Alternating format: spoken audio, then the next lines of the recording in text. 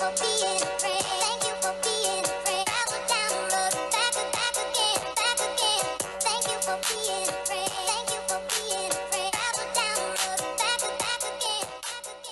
everybody, Goldie here, and today we are continuing our look at the latest batch of icons of WrestleMania in WWE Champions, and today we are looking at The Rock. Um, so again, these are all faction boss promoters. Uh, so The Rock um, is the one that promotes strikers. So 21k earn 30% more boss shop currency from battles. He is a focused powerhouse, and that is his WrestleMania moment. Exclamation, exclamation, bio, the rock, IWM. Um, I'm pretty sure we're talking about the icon versus icon match here when it comes to the rock being an icon of WrestleMania. Uh, let me know in the comments if I'm wrong, but I feel like that would be it.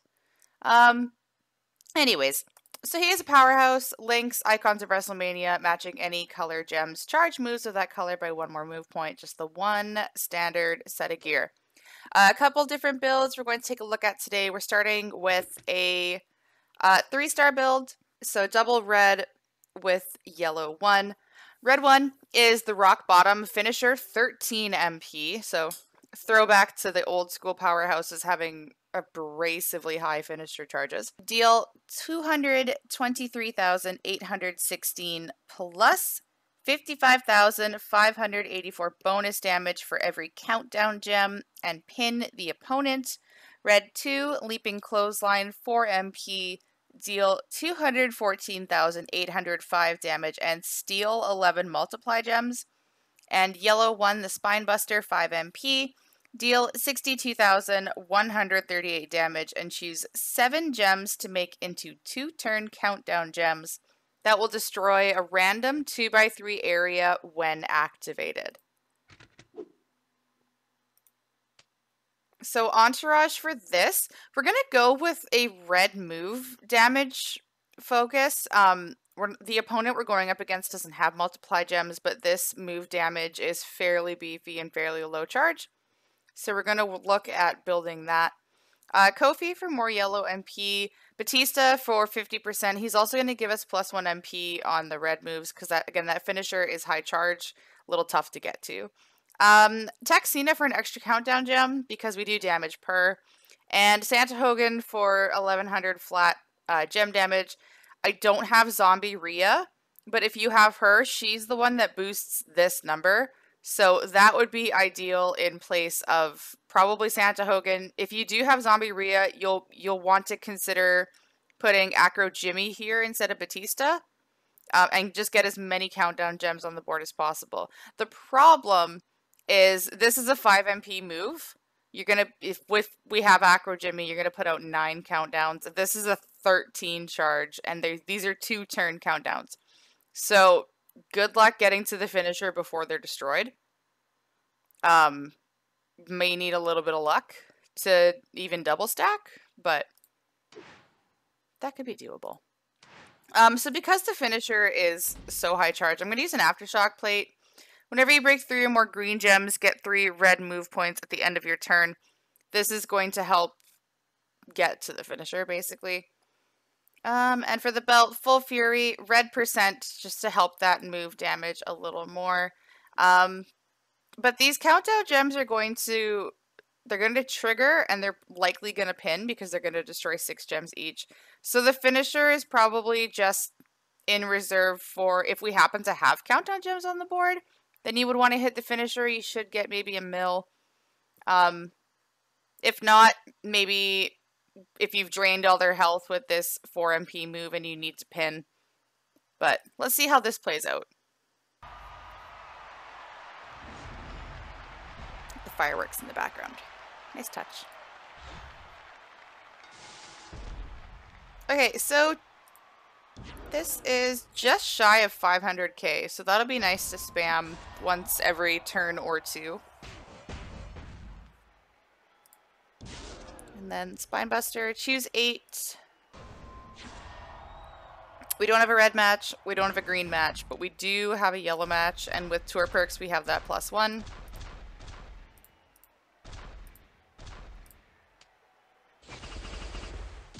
So I'll swipe this, and that should get that fully loaded for the next turn.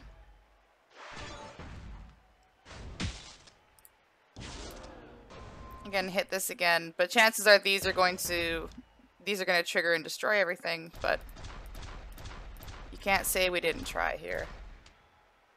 Again, not much happening for us on the board. Hopefully the destroy will give us a bit of an assist here. Oh, they all just kind of overlapped on each other? That's cool. And he just shoved them? Okay, that's cool too.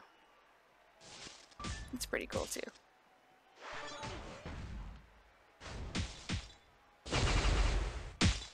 Yeah, but there goes us losing all of our... Get out of here! There's us losing all of our countdown gems because it took too long to get to the finisher. Um, that'll be resolved in a different build. Again, this is 3 star.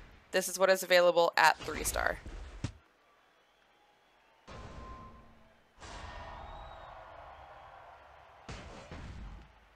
Could you even get him 3 star? No, he's the ridiculously high shard recruit, isn't he? So you wouldn't even need to run this build. Glory to God. What does Davy D always say? Look at God. It's kind of how I feel with him being a four-star recruit because you don't have to worry about running this. But it wouldn't be a preview if we didn't look, right? Alright. So, critical hit. We'll go on loot boxes. He's not going to match um, blue or yellow for that matter. So let's do that. We got 3 mil health. Finisher is at 518. Hit the rock bottom.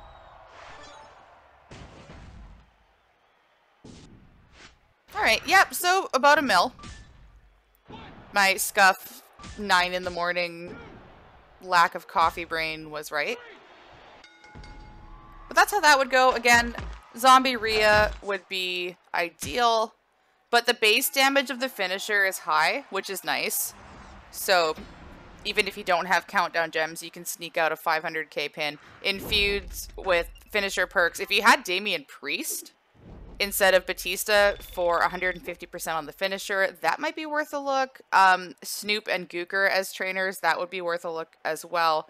And then you could probably do like a full armor cheap shot thing but again, very high charge. So that's how that looks at three star. Let's see what we can do with his four star moves. The first four star build that we're going to take a look at brings in the four star move, which is yellow 2, the People's Punches. 8 MP, deal 57,921 damage, and choose 4 gems to make into red gems. So this just became a lot easier in terms of stacking and recycling. We're going to run that alongside the finisher and the spine buster, keeping Kofi, Cena, and Santa. Again, Zombie Rhea would be ideal here. And we're going to bring in Big John Studd to create four more red gems, plus that extra yellow MP. Kofi's going to give us an extra red gem as well. And what we're going to do here, keeping Full Fury with that red percent, and we're going to bring in a general's orders plate. Whenever you break three or more red gems, get three yellow move points at the end of your turn. And we should be able to do this turn one. But of course, now that I've put that out into the universe, roll cascade. Uh, but let's, let me show you how this is going to work. Oh, there's a lot of red gems on the board. Okay. We're gonna try anyways, though. Spinebuster. Uh, we'll go there. I don't want to touch any of this because that just spells disaster. People's Punches. Again, we do have plus one on a match. We're to give ourselves a five match here. We're going to give ourselves a swipe here.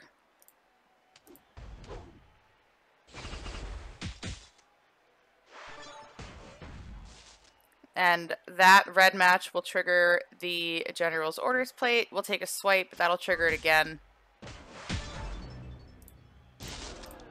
Which will allow us to hit this move a second time. Again, don't really want to place these where he's going to match. And now we have it set up that if he kicks out, this is ready to go on the next turn as well. Um, this cluster of red means he probably will kick out, but... Or not. Um, full armor would also work. Just shy of 1.3 million damage on turn one. Uh, the general's orders plate is clutch and necessary for that tactic to work. But uh, that's how you would win on turn one with that four-star build. He does have other moves though, so let's let's go take a look at those. Another four-star build we're going to take a look at brings in both of the green moves along with the four-star yellow 2 move. So green 1, the Samoan drop 9 MP, deal 97,068 damage and destroy 8 random red gems. Green 2, the Flowing DDT 8 MP, deal 86,332 damage and choose 7 gems to make into row break gems. And then the People's Punches, choose 4 gems to make into red. That's plenty, all we need. Uh, so this is going to be double MP, Kofi, and Steel. Uh, if my tour perks were maxed, this would be turn 1, but they're not. So we're going to take a swipe and make it turn 2. And then Santa Hogan and Typhoon for gem damage. Now, belt here, I've switched to a yellow percent because we're going to use the People's Punches as a finisher, essentially. And I've kept the General's Orders plate on. No harm, no foul. Um, if there was like a whenever you generate four or more row break gems, increase your whatever damage by whatever percent for however many turns that would be the one I would use, but that doesn't exist. So this is what I'm going to try. So again, this is going to be ready to go on turn two. Let's just do that. Let him do his thing, and then we make seven row breaks, and oh, wouldn't you know, the board is seven by seven. So it's not going to matter what column you put these on, as long as they're all in the same one. And then five gems to make into red. We only need a four break here because that's going to destroy the entire column and subsequently blow up the board. So with the remainder, we're just going to cover up the loot boxes to get a little more gem damage as opposed to doing 1101 from breaking a loot box. And the whole, board goes boom. And then the general's orders plate kind of helps us refill this just in case. And he kicked out. Go figure. Uh, but have no fear everything's ready to go on the next turn.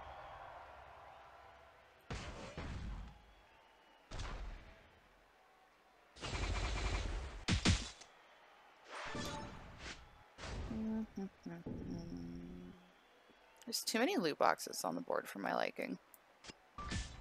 For damage doing. There we go. Uh, there's only three, so might as well hit this and cascade into oblivion for some move damage. Ooh, that was lucky. Yes, I did see that, by the way, but... And then, same strategy. Put these all on the same column.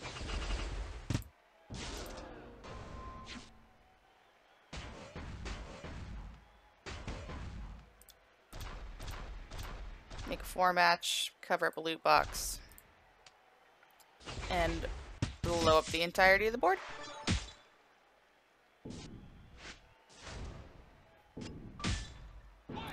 Wow. Okay, just go ahead and kick out. That's fine. That's totally fine. Third time's a charm.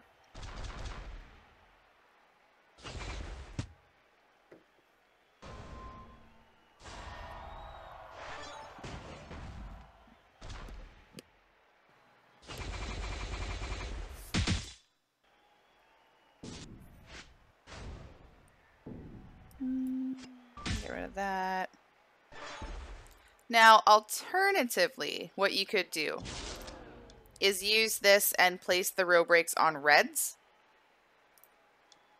And then use the Samoan drop to destroy red gems. But 1, 2, 3, 4, 5, 6, 7, 8, 9. There's 9. It only destroys 8. I'd much rather do this and have control over placement and red gems to make sure the entire board is getting destroyed.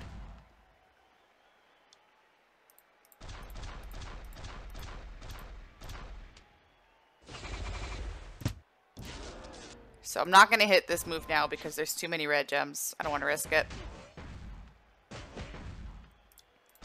And then again, four match, coverable loot box, place all of the gems.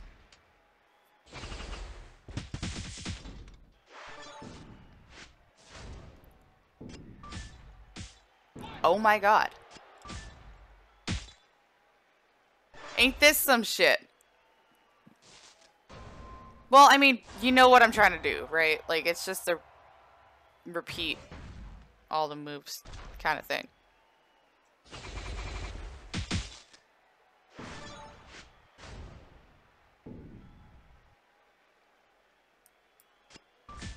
Well, now I'm just grumpy.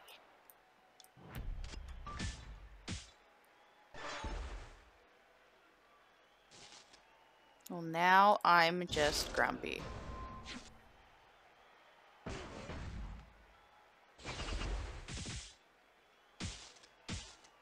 That works out perfectly.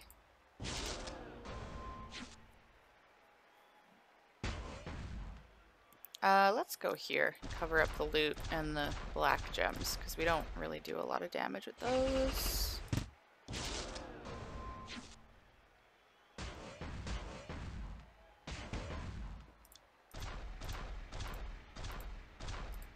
This should be it. Thank you. Thank you. A fourth times the charm, apparently. But I think that 719 was the lowest amount of damage we dealt using that. So, not terrible. It's an option. I know a lot of people aren't a fan of the double MP if it doesn't win on, win on turn one, which I completely understand. Um, let's take a look at one more build using his five-star move. Red 3 is the People's Elbow, the five-star move, 9 MP, deal 135,418 damage, and make 8 random gems into green gems. So we are going to run this alongside the two green moves, um, and this is going to help us, you know, have a shot at recycling if RNG doesn't go our way, which is often the case. Uh, entourage. Uh, I've kept everyone in except I take I've taken out Kofi and I've put in Zombie Seth. Green moves that destroy gems will destroy five more gems.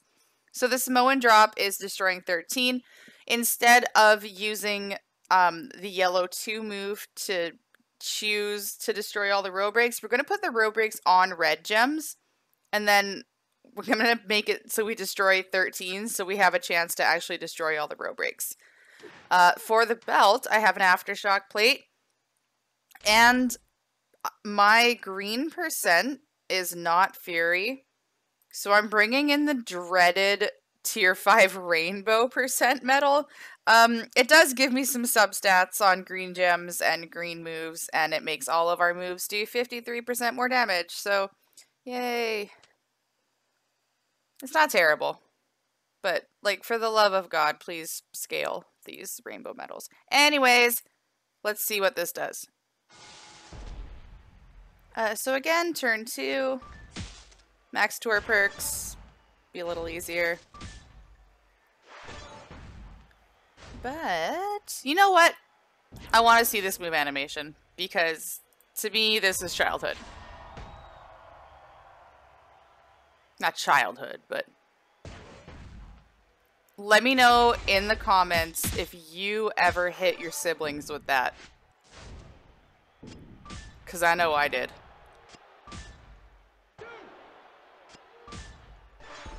Okay, that was really cool. Thank you for going down memory lane with me. Uh, let's move on. And, okay, so we're going to place the row breaks. And we have exactly seven red, so that works. And then destroy 13. We don't have 13, but this is more just to make sure you're getting all of the row break gems.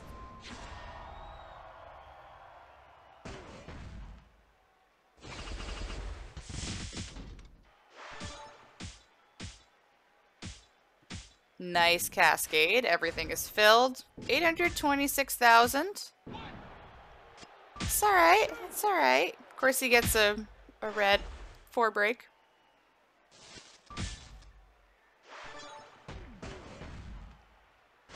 Mm. Hmm. Yeah, whatever.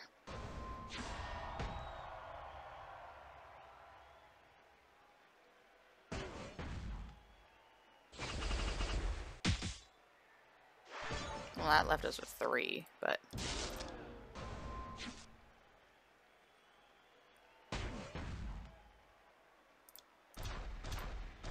Uh, so, we got leftovers. Let's just put them on greens.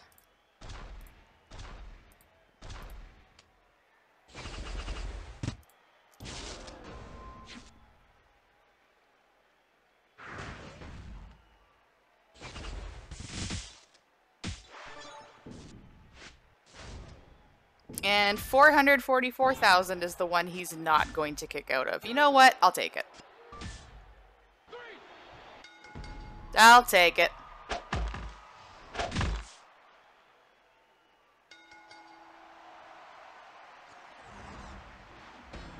I'll take it. Okay, let's conclude the preview. Okay, so I kind of lied. Um, this is for my NWO perfect having people. I'm sorry if you don't have him. Um, but I do, so. I'm going to run double green with Spinebuster, Steel, and NWO Perfect, so everything is ready to go on turn one. Gem damage here, and we're going to run ye old Z plate because I just know somebody is going to be in the comments like, why didn't you use the Z plate? Well, now I'm using it, so. I didn't forget. It was just a matter of finding a build that worked with it. But this would be the one because you're going to blow up the board. There's no point in running the Z plate if you're going to hit the finisher that doesn't destroy them. So, again, sorry if you don't have NWO Perfect.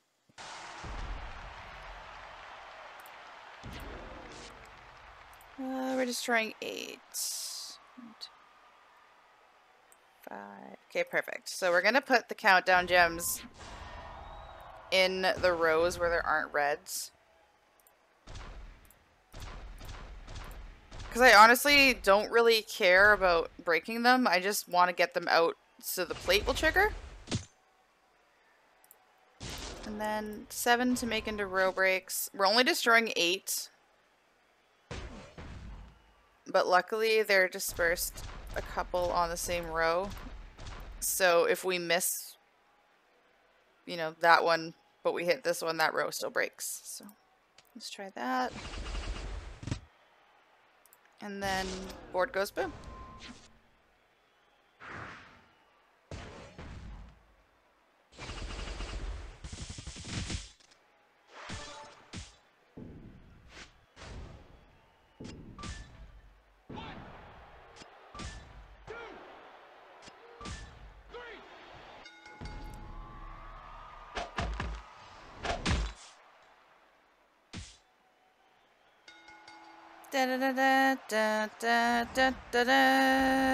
Okay, now I'm done. Now I'm done. Let's wrap it up. Okay, so now that concludes my preview of The Rock, Icons of WrestleMania. Again, he is part of the new batch of promoters for Boss Shop Currency again, and he is available in the Boss Shop. So you need the promoters to speed up getting the promoters, but it is what it is. Um, he promotes strikers. I believe he's a 4,000 shard recruit. The one thing about having preview characters on the roster is you can't see their recruit point. So I believe he's 4,000 at 5 silver. Um, but lucky me, this is the one that I got from the $5 offer. Um, not sure if I'd build him as a fighter because there's just so many good powerhouses, but uh, let me know what you think in the comments. He's he's kind of an interesting, fun one. Um, again, if you have Zombie Rhea, that's going to be really beneficial. I don't have her, so that's probably going to hinder my building of him. Um, but I do have. He promotes strikers. Ooh, he'd look good on that RVD. Just saying. Uh, but let me know what you think of him in the comments. What's your favorite story of dropping people's elbows on people? Uh, did you watch the Icon versus Icon match? Were you Team Rock? Were you Team Hogan? How'd you feel about that? And uh, let me know any other questions, comments, concerns, thoughts in the comments of the video. Don't be like that one douche nozzle that called out Gerson for absolutely nothing and just decided to be mean to him and call him a bunch of names. Don't do that. We're better than that. We're adults. Um, but yeah, don't do that. Be nice. Spread positivity. We can all learn something from each other. So let's use our platform to do that instead of spread vile hate and troll people for no fucking reason. So, thank you very much for taking the time to watch this video. Be sure to like, share with your friends, and subscribe so you're notified when my next gameplay video comes out. And uh, just wouldn't you know it, Mick has come to sit on the laptop, which means preview over, pet time commence. Thank you again for watching, and thank you for being a friend. Mick, you want to say bye? That's Mick saying bye. Bye.